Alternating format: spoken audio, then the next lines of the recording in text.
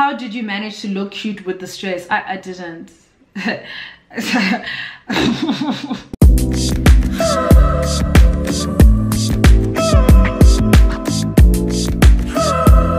up guys and welcome back to my channel. If it is your first time joining, welcome, welcome, welcome, welcome, welcome. I really do hope that you stay, you subscribe, and you become a part of the ZeeX family. As I'm sure you guys can tell by the title of today's video, today I'm going to be sharing with you guys my honors experience. this is gonna be a part of my back to school series which is gonna be just a few videos i'll be doing this week um all related to school and varsity mainly because i mean like high school. And then afterwards i will be answering some of your guys questions that are directly linked to university. I did ask you guys um on my instagram. I'm gonna leave that on the screen right now because if you're not following me there you should definitely go ahead and do that so you guys can participate in such activities. If you guys are excited excited for this video please do give me a huge thumbs up. Please go ahead and leave me some love in the comments. And of course subscribe to my channel and become a part of the ZeeX family. Okay anyways let's get straight into it. Okay so if you guys haven't seen my undergrad um like how uni was for my undergrad do go ahead and watch that video. I think i did a live update. I don't know if i made it like a whole separate video but i'm gonna leave it in the cards right now so you guys can go ahead and watch that if you guys want to know how that was. But for those who don't know also number one i'm to be looking my notepad because i'm very organized in 2019 i mean 2020 oh everything is messed up you guys will know that for my undergrad i was at uct um, i did my undergrad in a, i did a ba in media and writing as well as sociology afterwards i obviously moved to johannesburg last year 2019 to come and do my honors at the university of the Witwatersrand. Do note that obviously I'm only going to be able to speak about what I've studied. I did a BA, so I can't you know sort of speak for you know engineering kids bcom kids because it's all different. I don't know anything about that. I only know about what i studied. So do keep that in mind when you guys are listening to this video or just listening to my tips or anything like that. Take what you can leave what you can't and let's keep pushing. Again if you guys were watching my vlogs last year you guys know that i only found out that i was in university on it was probably like the week before um, school started. So it was like a few days before it just no it was like a week before registration i think. Yeah so it was week before registration that's when i found out i was disgusted. It was probably like this time in jan. Yeah it was like this time january in goa because i had to move to a whole other city and i didn't know what was happening. When it comes to wits it was quite late but we move. And in that case when i got to school and when i got to registration i did not know anything about how the courses were working or anything like that.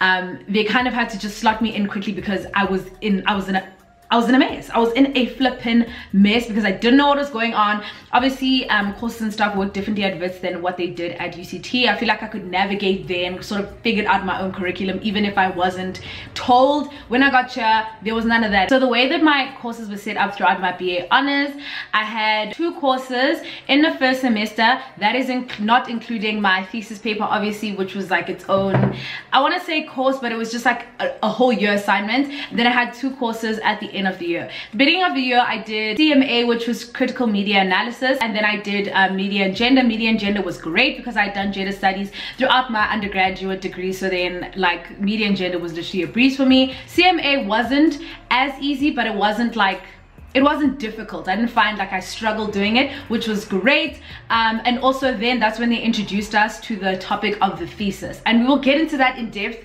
in a second. And then for second semester i did um, media and environments and then i did um, african media systems. When i tell you guys hey media and environments oh my goodness. So we had two options between media. So in both semesters you have two options to choose for your elective. Um, that's the media and gender or the media and environments. And then there is one that you have to take. So that was my cma in first semester and that was my african media systems in second semester. So i can't remember what um, my other choice was in first semester i think it was media and like film or something like that i don't know what it was called but in second semester it was between media and politics and media and environments and you baby girl i was looking at the two options and listening to what my peers were saying and they were all like girl the lecturer that is taking that media and politics course is not the content. I'm so sorry if she's watching this. but they were like she's not the content. You don't need to be doing that. So i said okay cool. Um, i'm gonna do media and environments. And trust me when i say like most of my honors class was in that class. There was literally like five people or six people in the other class. So I'm like okay i want to be in the other class because i know for myself like i'm not a person who likes to do readings or like wants to be like super interactive in class. So i really don't want all eyes on me in class. When there's five people you, i'm going to be asked questions. And i'm not trying to be asked questions. I'm not trying to engage like that. Like i'm sorry. I just so yeah i decided to do media environments and it was honestly one of the worst decisions of my life. Honestly I, I, feel like choosing either or would have been bad but like honestly that was really bad. I didn't really enjoy it. However you know we made it through we got through whatever uh -huh. So they explained to us at the beginning that in throughout the year there were going to be no exams, which I was already like, unza, unza, unza, unza, unza. the content I signed up for because we had no exams obviously um, our assignments weighed a little bit more i always like that because i prefer to do assignments and exams i feel like the pressure that comes exams just not the content that i sign up for i much prefer doing an assignment while handing that in and let that be it you know type of situation they explained to us guys that obviously we had to choose a topic for our thesis um, that is obviously linked to the media in some way. Obviously. They let us know that we obviously needed a supervisor and at the beginning they were going to assign us to a supervisor and then that is who would be working with throughout the year so how they did the whole supervisor thing was that at the beginning we had to write I think it was an abstract that we had to do. And in your abstract you just basically had to obviously um, introduce your topic. That's what an abstract is. So we had to do an, an, an, abstract. And when I got to class guys I had no idea what I was doing. I knew I had an idea about what I wanted to do but I realized that everybody else in my class well I must say not say everybody but most people in my class I really knew what they wanted to do. They came to class they said their topic and I was kind of just like oh my goodness I have no idea. Like I didn't have a topic that I could put in a sentence type of thing. My thesis topic ended up being um, a topic about influencers and um, it was basically like an audience study on how audiences receive um, beauty influencer content, specifically South African beauty influencers and specifically the bigger beauty influencers. So that's what I did my topic on. I enjoyed it. Um, I didn't enjoy it at the beginning because I feel like my supervisor had some animosity towards influencers, which was kind of awkward for me because obviously she didn't know that I am one. And I didn't tell her specifically because I wanted her to give me honest feedback without like, you know, having that awkward thing. And going about it was um, quite a lot. I will say my biggest tip throughout the whole thesis process, thesis wow i don't know what i just said but throughout the whole thesis pro process is just to get started as soon as possible if you haven't already start thinking about what you want to do so that when you go in you can actually already be prepared for what they're going to give you because you already know you're writing a thesis so just already start thinking of your topic now so that you're going to come in prepared and that you already have like you know what type of research you want to do. When it came to the overall course workload throughout the first and second semester i would also want to give you guys a tip to stay on top of your work. That is honestly for any um, whether in undergrad or postgrad but i will say that in honors you think that because you have all this free time and i only went to class like i had six hours of school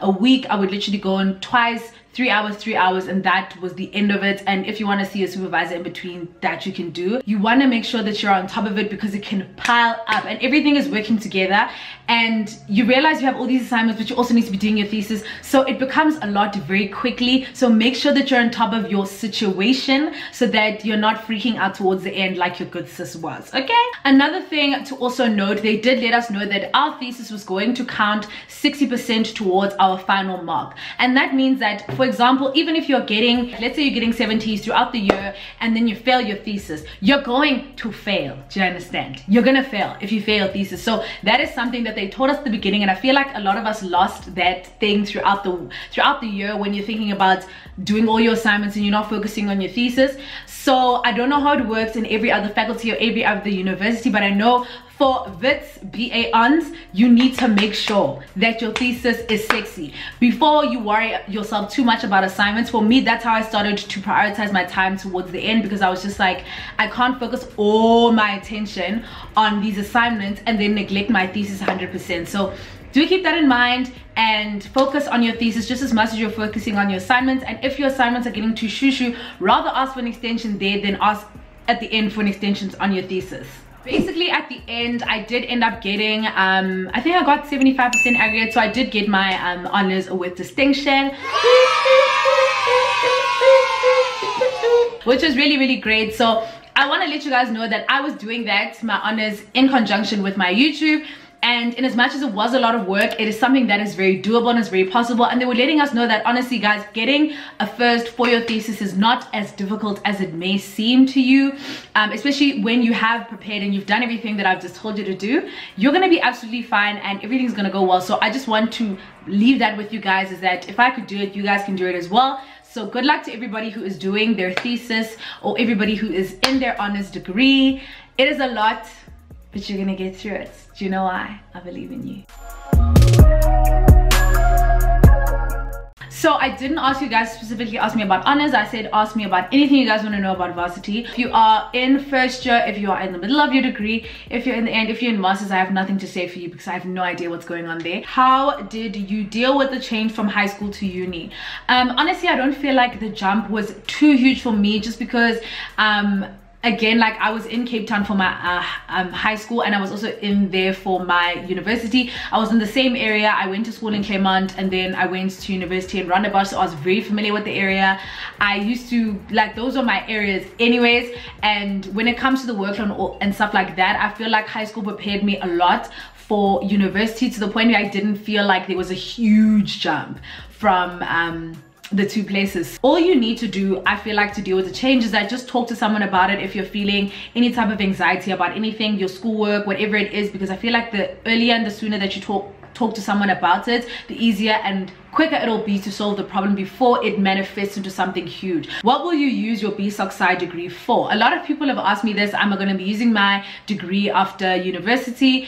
And honestly for me i feel like my degree and university as a whole people only think about it as what are you going to do with it after school which is fair enough because what I also be doing at varsity there are lots of jobs that you can go into as a social social science graduate but more than anything i feel like going to university is an amazing experience because you learn so many other life skills besides for just getting your degree. You learn independence you learn time management you learn accountability you learn so many other skills how to be around people how to live you know in a new place with new, all of that stuff is all new skills that you learn in university so i feel like it's not only just about the degree but the overall experience of varsity obviously i'm not saying people go to varsity for the experience it's something you can skip however still great even besides for the academic academic part of it what are your thoughts on dating on campus i mean I didn't do it. If you want to do it, do it. If you don't, don't. I really don't have an opinion on it. It works for some people, it doesn't for others. So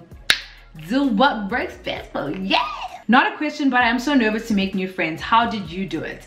Honestly my friends will tell you the friends that i made in first year that i was just very being i was like go papaya. Like i told myself that listen i'm in university. I'm in I, am here to reinvent myself. Not even to reinvent my personality anything like that. I was just like this is a new you know era for me. I can be whoever i want. I was going up and greeting everyone. Hey my name is zama. And I didn't care. Like I literally was not shy about it. Like I was hey my name is Zama. What is your name? It also really helped me being in res because I made a lot of friends there that I also brought to me on campus and they introduced me to their friends. And it was also nice because the people from res like even though a lot of them won't be your friends it's like when you're on campus it's like hey girl how you are you good? Okay and especially for me because I was in a small race it was even like it was brilliant. Like I even if we weren't friends it was like a hey what's up? type of thing. And you navigate your life throughout varsity and you see you know who your friends are for school who your friends are for group and who your friends are for the matters of the heart. So yeah that's the thing is that just be open introduce yourself to people don't be shy realize that like everybody doesn't know people. So don't feel tense about it. If you see people are being clicky at the beginning don't talk to those people. If you feel like people are unapproachable don't talk to those people. Talk to whoever seems friendly and i promise you're gonna meet the best people ever in your life. Does getting a job in second year sound like a good idea? Trying to secure some coins without failing. I got a job in second year and it was great I got money, I didn't fail. So I definitely think if you feel like you can handle doing both, do it. I would recommend anyone to get a campus job before you go do something else because on campus I feel like they are more understanding of your schedule and they're more understanding of, you know, what you're going to need as a student and what, you know, you can do and what you can't do. So definitely recommend getting a job on campus if you can. But yeah, I wouldn't say get like a super, super hectic job because it's difficult to manage that and school at the same time. How did you always manage to be motivated? To be honest with you i was not always motivated guys. Especially in my third year i always spoke about this which is why i'm saying go ahead and watch that video because i really wasn't always motivated. Like there are there were times where i was feeling very low and even in the last stretch of that undergrad i was feeling at my lowest. And it was difficult. Like you just have to tell yourself that at the end of the day baby girl you need to get you need to finish this degree. Like you need to keep going and you need to do make yourself proud at the end of the day. I feel like there's a little thing inside me that's very competitive with myself. So um, I definitely feel like especially academically. So I feel like that maybe is what kept me motivated but I wasn't it wasn't as always at the stage where I'm like, ah, oh, yes, school, so excited. Because when you when you like get a bad grade or something happens, like you you get demotivated and you just have to sort of pick yourself up and be like, you know what, the show must go on, baby. At the end of the day, I have to. The end of the day, at the end, I have to. I'm doing my final year. The girl's nervous, gonna pressure. How do you deal with this? Honestly, babes, just try, as I said, like throughout the um, beginning part, just try and stay on top of your work. Don't stress yourself too much. Again, and as much as you work hard, also take some time to yourself self-care self-love do some nice things with yourself with your friends not all the time because we back but just doing enough to you know relieve yourself of some stress even during exams things like that that take care of yourself because not doing that is i feel like where a lot of people go wrong you do need breaks in between all of um the stress and the studying and all of the stuff like that but i don't feel like being nervous about it because at the end of the day you know university works in stages. It's first year second year third year. You don't go from first year to third. So you are definitely prepared to be where you are. So don't worry about it.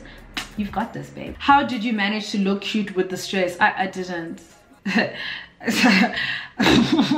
What's the most important thing that you should remember during O week don't lose yourself. Okay like please do not okay don't do it. Let me tell you let me be the one who tells you don't do that thing. Like relax because a lot of the times guys if you do too much if you just don't do it okay? People are gonna remember okay? And as much as it's not like the worst thing i mean things happen to everyone people remember don't do it okay Someone said here, how did you make sure that you stick to eating healthy while living alone? I did get another question from another girl. I can't remember her handle specifically, but I remember she asked me how I transitioned from living in a, what do you call? what do you call these raises catering raise and um, moving into a self catering so i will say that the jump is very it's a lot at the beginning because of course you're not used to having to make your meals. And if you didn't make your own meal you're not eating type of vibes. Um, also your budget needs to change because now you need to factor in putting um, money towards food um, that maybe you didn't before. I know i did. My mom gave me more money when i moved into self catering obviously because now i had to cater for my food expenses. And listen my biggest tip is like try to meal prep as far as you can because cooking every day is not realistic. Like i'm so sorry. Try to buy staples. Do not buy a lot of fruits and vegetables all at once because they will go off. My food still goes off day for me i was a very easygoing girl. I used to make food. Maybe on monday it would last me till wednesday. Then again on wednesday it last me till friday to be honest i probably was eating out more than i should have. I wasn't eating a whole lot because i was just lazy. I'm probably not the best to give the advice on this but yeah just make sure that when it comes to your food budget set a limit for yourself. Say this every week this is how much i'm going to spend on food and try to stick to that or else you're going to find yourself it's easy to spend lots on food and and be ending up throwing away everything. So make sure that you have that on lock so that you don't go bankrupt bankrupt because of food you didn't even eat and to end off this Q&A, somebody asked me, is it really worth the hype though? It is not. so overrated mindset i'm joking guys. Go to university study fundan okay thanks. Okay guys thank you so much for making it to the end of my video. I really hope you guys enjoyed it. I hope you guys learned a little something about me and i hope i shared enough tips for you guys to be okay. If i didn't answer one of your questions please go ahead and leave it down below in the comments and i will try my best to get to it um when i see it in the comments. Please go ahead and give this video a big thumbs up if you guys enjoyed it. And of course please don't forget to subscribe subscribe subscribe to my channel so you can become a part of our little family. And of course i will see you guys in my next video. Bye